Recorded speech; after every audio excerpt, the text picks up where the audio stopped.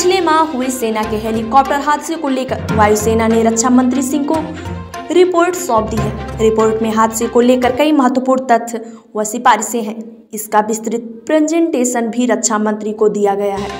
इसमें हादसे के कारणों पर भी विस्तार से जानकारी दी गई। 8 दिसंबर को हुए हादसे में देश के पहले सीडीएस जनरल बिपिन रावत समेत तेरह सैन्य अधिकारियों की मौत हो गई थी। आपको बता दें, तमिलनाडु के कुन्नूर के समीप हुए इस हादसे की जाँच तीनों सेना की संयुक्त समिति ने की थी।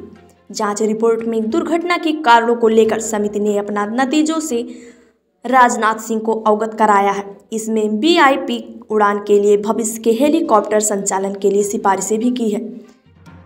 वहीं भारतीय वायुसेना के अधिकारी एयर मार्शल मानवेंद्र सिंह की अध्यक्षता वाली ट्राई सर्विस जाँच समिति ने हादसे की जाँच की।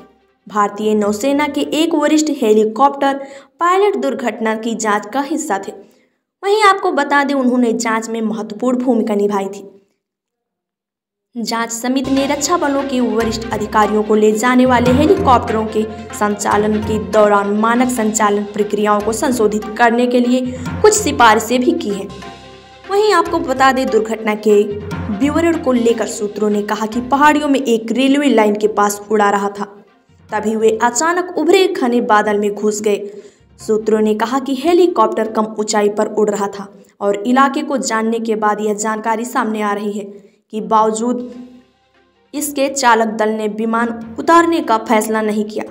ऐसे में विमान एक चट्टान से टकरा गया। सूत्रों के अनुसार, चूँकि पूरा दल मास्टर ग्रीन श्रेणी का था, ऐसा लगता है कि उन्हें भरोसा था कि वे स्थिति से बाहर निकलने में सक्षम होंगे।